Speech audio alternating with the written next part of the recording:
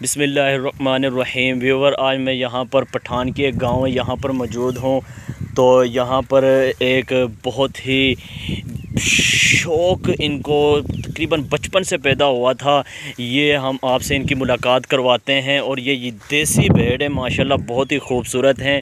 और जी सर अस्सलाम वालेकुम। क्या हाल है सर? ठीक। ठीक है। सर आपका नाम क्या है? मोहम्मद हारिस। मोहम्मद हारिस तो सर ये आपने भेड़ रखे हुए हैं तो आपने ये भेड़ इस कुर्बानी पर फ़रोख्त करने? जी।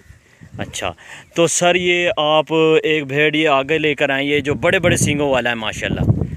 और ये देखें कितने खूबसूरत भेड़ हैं ये देखें इसका इसके सींग देखें माशाल्लाह कितने खूबसूरत सींग हैं। और इसके कान कान देखें दो रंग के कान इनके।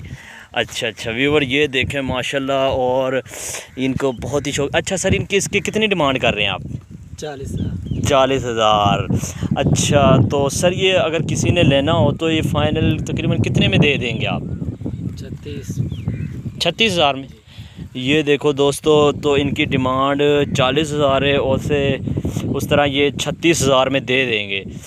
तो दोस्तों ये देखें बिल्कुल पठान की ये जो सामने ये दरख्त नज़र आ रहे हैं सफ़ेदे वगैरह, ये बिल्कुल दिफा के ऊपर हैं। ये देखें माशाल्लाह, आज मौसम भी बहुत खूबसूरत है।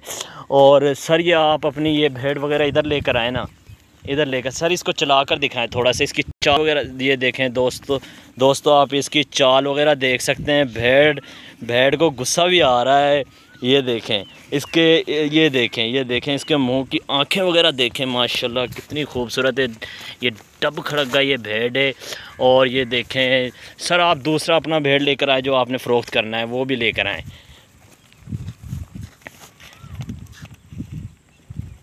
ये देखें दोस्तों, ये एक भे, भेड़ नहीं है ये भेड़ नहीं इसकी आँखें और इसका मुँह देखें इसके इसके ये देखें कान वगैरह देखें कान वगैरह देखें दोस्तों और सर इसकी ये ज़रा महाना तो दिखाना महाना दिखाएँ इसका महाना दिखा ये देखो व्यूवर माशाल्लाह कितना खूबसूरत महाना है इसका वेरी गुड माशाल्लाह सर ये कितने माह की क्रॉस होगी ये?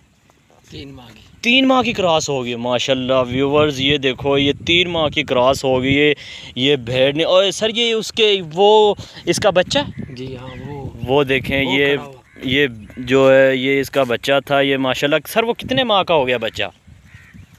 तकरीबन पाँच छः माह का हो गया। पाँच छः माह का बच्चा हो गया है अच्छा अच्छा। तो सर ये अब आपने ये इनको जो गर्मियों में आप इनको किस तरह के माहौल में रखते हैं? ठंडे माहौल में ये सारा खुला हुआ है। इधर दिन सुबह से लेकर शाम तक यहीं ठंडे माहौल चलती है। अच्छा अच्छा। देखें दोस्तों ये यहाँ पर भाई हारस हमको बता रहे हैं कि इनको गर्मियों में यहाँ पर ही ठंडा माहौल है तो यहाँ पर इनको रखते हैं और इसी तरह इनके तकरीबन आप सर किस टाइम लेकर आते हैं इन्हें चराने के लिए? तकरीबन सुबह आठ नौ बजे। ये देखें आठ बजे आते हैं और रात जाते किस दफ़ा किस टाइम में? मगरिब टाइम ही में मगरिब टाइम जाते हैं। सर ये देखें अच्छा अच्छा सर आप वो भेड़ लेकर आए ना जो आपने वो फ़रोख्त करना है। ये देखें सर ये इन्होंने फ़रो ये भी फ़रोख्त करना है। सर इसकी कितनी डिमांड कर रहे हैं आप? इसकी तीस हज़ार। तीस हज़ार डिमांड कर रहे हैं? हाँ। अच्छा सर इसका वज़न कितना होगा? तकरीबन तीस किलो वज़न होगा तीस किलो वज़न होगा व्यूवर्स ये भाई बता रहे हैं इनका तीस किलो वज़न हो जाएगा माशाल्लाह। तीस किलो ज़िंदा का अब सर देखें कुर्बानी जो होती है ना वो तो एक शौक़ की होती है। वज़न की और गोश्त की कुर्बानी नहीं होती।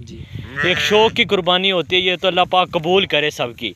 ये देखें सर इसका कान पकड़ा हुआ है तो ये नाच रहा है भेड़ सर इसको छोड़ दें छोड़ दें सर ये नाच रहा है ये देखें।